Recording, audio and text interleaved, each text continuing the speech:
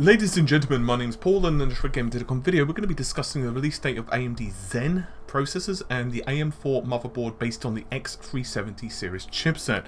So just to get everyone on the same page, Zen is the new upcoming architecture from AMD. It's an entire new series of processors and given from what we know from leaks and benchmarks, official benchmarks at that, it's looking to be very competitive with even the highest end Intel processors. And in other words, it's going to compete against Skylake, it's going to compete against Broadwell E, and even Intel's upcoming Kaby Lake series. It's going to be based on different retail configurations, for example, up to 8 cores, 16 threads for the high-end CPU model, which will of course be available for uh, customers with server versions going all the way up to ridiculous numbers of cores. But with that said, currently the Bristol Ridge series of APUs is available from AM4 and, in, and AMD have just started to ship them to OEMs earlier this week. Now if you're looking for a Bristol Ridge APU, which once again is based on Excavator, which is the older architecture, they're going to start filtering into retail stores, so in other words the Amazons and even you know brick and mortar places over the next couple of months. But most folks, as you can imagine, are more interested in Zen if you're building a high-end processor. And that's where these new rumours come in.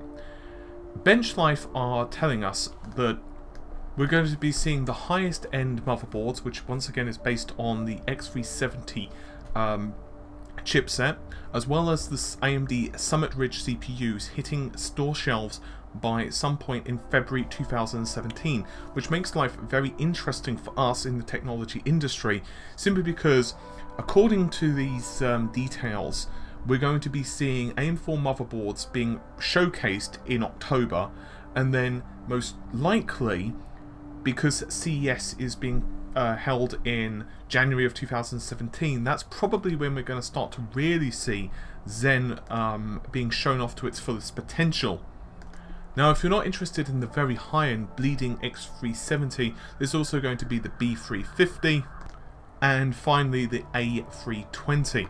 Now obviously there will be some major differences between all of those different platforms with the A320 being the lower end which is for like basic PC functionality then you've got the mainstream which is the 350 which is such as additional functionality so you might have basic overclocking features but you won't have massive bandwidth available for like multi-GPU configurations. But finally the very high-end one the X370 is going to be for folks who need like multi-GPUs for example if you need two or three or whatever graphics cards in a system.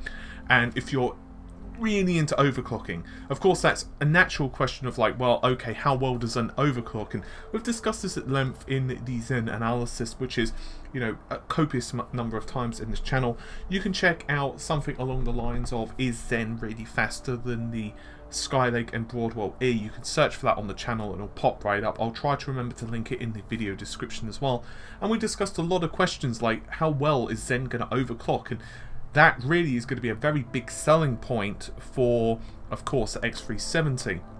Now, in the very distant future, we will eventually see Raven Ridge, which presumably is either going to mostly replace Bristol Ridge or it's going to vastly reduce the price to Bristol Ridge. Just to clarify, Raven Ridge is going to, of course, be based on Zen as the CPU, and will also feature a built-in GPU architecture, and that will be Polaris-based, which is GCN 4.0.